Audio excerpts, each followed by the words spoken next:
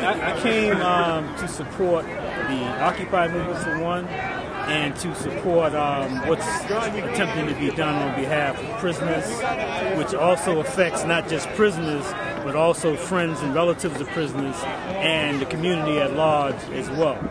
And um, I want to, um, you know, I want to help inspire this, this, movement any way I can, and I, would like to have us uh, coordinate our efforts toward an overall plan so that we can really make some strategic gains and advances in this struggle. What do you think are some things that, that like everyday people should know about prisons that maybe they don't know? Well, one thing they should know is that prisons are extremely big business. In this state, our prisoners produce about $125 million worth of license plates per year. They produce $11 million in clothing, furniture, and things like that. Um, they also generate about uh, $11.25 million a year for companies like Global Tel-Link and Evercom. So prisons produce a lot of money, and they make slave wages 50 cents to a dollar an hour is the highest wage. But prisoners also uh, make 50 cents to two dollars a day, which is the wage that most prisoners make.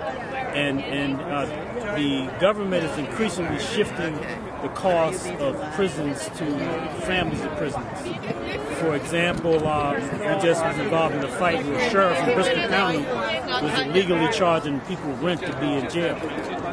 He, uh, he earned a million dollars in two years doing that, and we were a part of an effort that helped find 1,100 families to be reimbursed.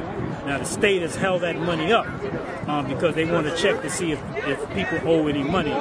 But we've also found uh, a regulation that's going to cut down substantially any of the monies that members of this plaintiff's class owe so that they'll, they'll at least be able to get some money uh, through the settlement of the, of the lawsuit.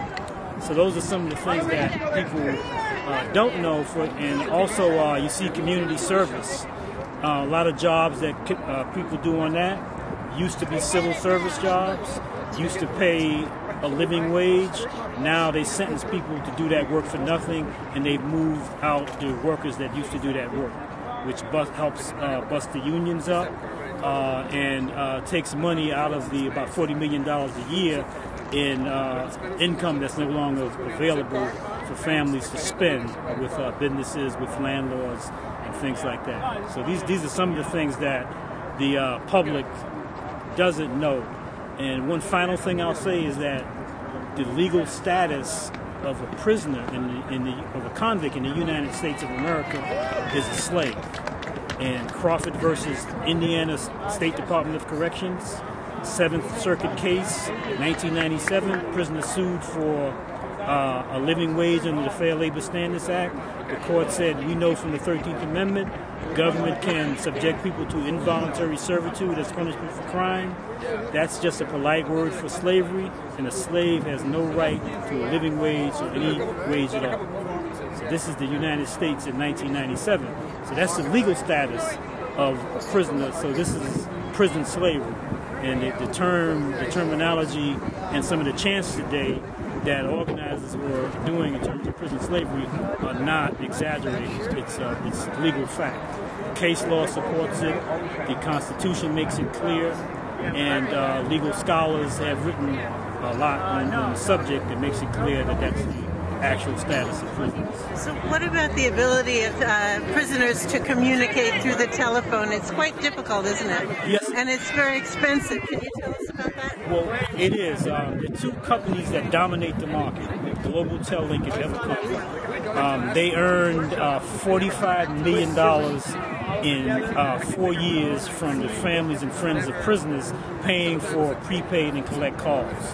Um, the state gets 35, 50 cents on every dollar that we spend for those calls. The state ends up in the state's pockets as commissions. This is in violation of Federal Communications Order 02-39, which says that um, commissions cannot be counted as costs because they're profit. The state allowed those companies to count those commissions as costs and to increase the rates to allow those companies to recoup the money that uh, that they paid to the state as kickbacks. So we're, we're saying that this is a conflict of interest, that the Department of Telecommunications and Cable cannot sit because they're an interested party, because they're a state agency. The state gets money, they get commissions out of this. So how then can you sit as a rate setting tribunal when you get a kickback based on how, how high you set the rates? And did you say you had an action planned about this issue?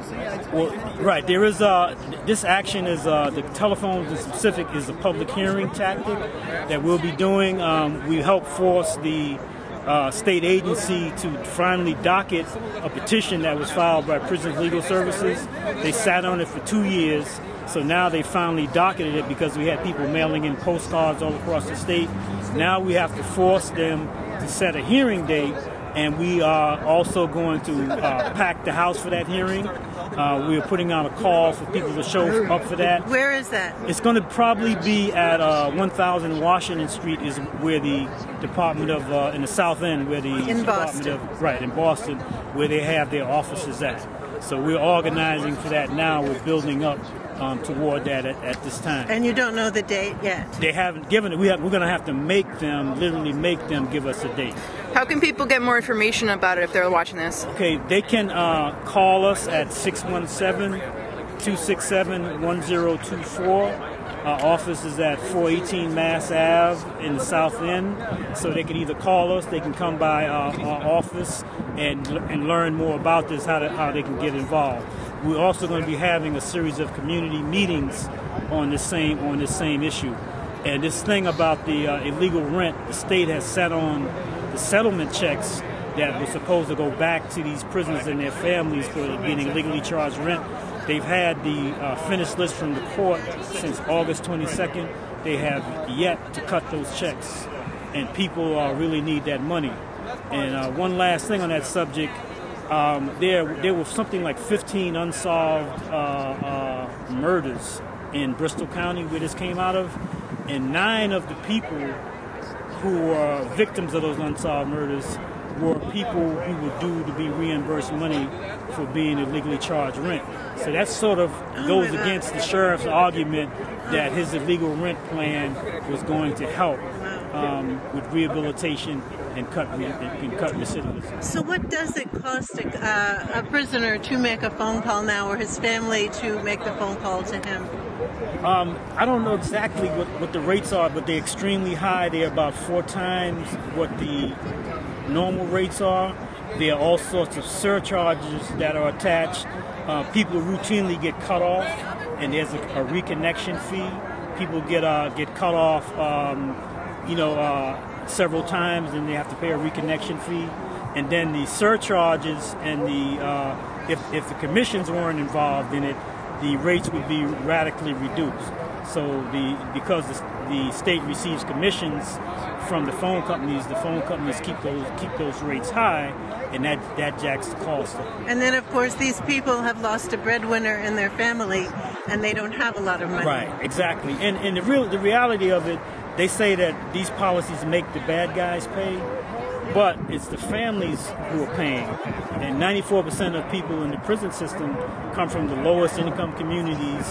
Um, 56% are black and Hispanic and they make up 16% of the population at large, and 85% of the crimes that people are convicted for are economic property seeking crimes.